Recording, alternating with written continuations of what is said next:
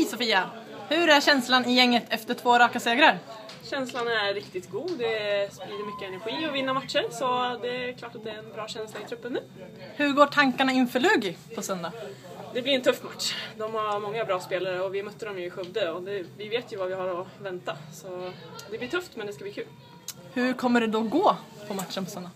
Jag hoppas att vi kommer ge dem en eh, riktig jävla fight, ursäkta uttrycket. Det ska bli jätteroligt att spela och vi är jättepeppade. Men nu när ni ska ner till eh, Lugi och spela så är det nere i Lund. Eh, Hur fördriver man tiden på en sån lång resa?